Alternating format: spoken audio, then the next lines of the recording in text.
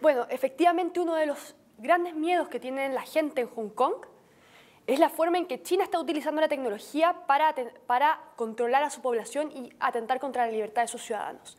Una de las más conocidas obviamente es la instalación de cámaras de reconocimiento facial que, que te identifican y que además están conectadas con tu crédito digital y generan todo un ecosistema de control digital. En el caso de Hong Kong, para ellos, lo que representa el Partido Comunista, lo que representan las cámaras de seguridad, es esta idea de un control y sumisión absoluta frente a la que no se puede protestar. Y claramente estamos hablando de un gobierno que, al poder reconocer las caras, también puede reconocer personas y puede ir luego a, eh, a atentar contra la vida natural y cotidiana de aquellas personas que protestan. Es muy diferente decir que vas a ir a protestar ejerciendo tu derecho para manifestarte en contra del gobierno, que te digan, oye, pero oye, si te graban una cámara, el día de mañana vas a perder tu trabajo porque te, te van a meter en algún tipo de lista negra o evidentemente te van a, eh, te van a atacarte públicamente en alguna parte. ¿Qué es lo que pasa cuando tú tienes ese nivel de cámaras? Recordemos que este próximo año la estimación de China era tener una cámara por cada siete habitantes y eso ahora es una cámara por cada dos habitantes.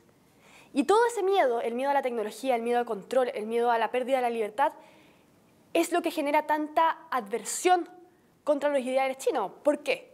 Si tú tuvieras un país pobre, pongamos el caso, por ejemplo, de un país de sudeste asiático, anónimo, y a ti te dicen puedes ser como China, claro, tú quizás estás de acuerdo con eh, votar ciertas libertades en favor de, obviamente, los beneficios que puede traerte un desarrollo económico acelerado.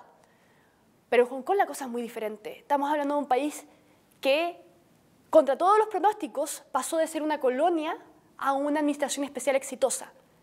Demuestra que la población de China, sin el control, puede ejercerse de manera civilizada, puede tratarse a sí mismo de manera civilizada y puede prosperar al punto de ser, como habíamos dicho antes, el país más libre económicamente del mundo, si lo tomamos como eh, una ciudad-estado.